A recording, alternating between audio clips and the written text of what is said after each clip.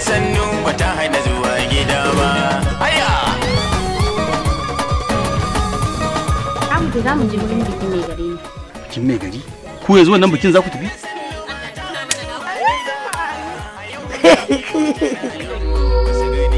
Har har kamata ki shigo gida in yi sallama an samu yan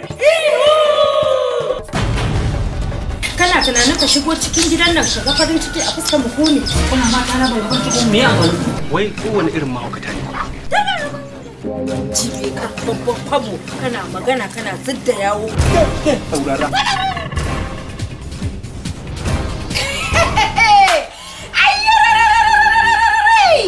Ga uwa da ni amada sai ka kana ai mun idan ma kin mai da shi bangon yamma kin mutunta shi. Ai mu mai da shi mushen jaki.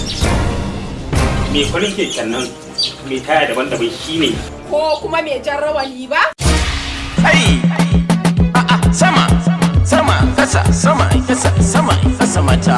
Haka. To ba kai! Arziki na bi tsiya na gori to wallahi ba zan rabu da ke ba. daga kamfanin fahimta global worldwide entertainment. Domin muddin aka yi wannan biki ba za su zauna da amaryar da na gidansa. Wallahi an dinga kacaniya gina.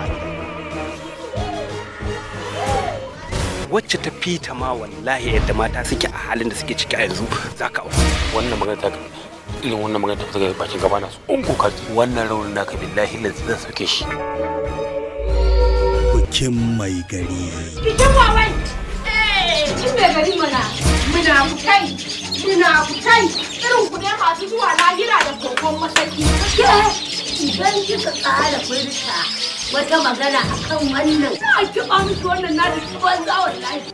Sai mun je gida. Ina bayan. Ki tsaya, ki tsaya. Zo mu je. bikin mai gari kaga mai sawa a yi?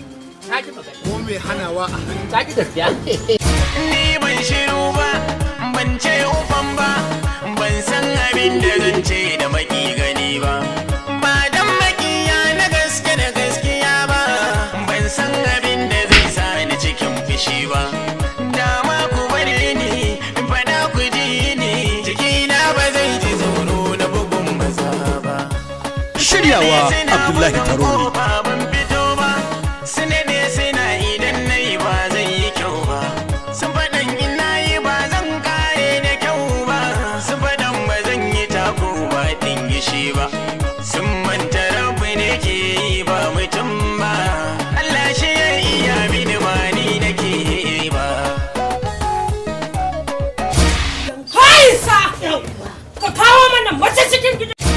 ki ba gidan kalli ne kina ba kina ga ma ma ma hukuciya Dakata baiwa Allah idan faɗa fa kike ji a shirye muka zo na.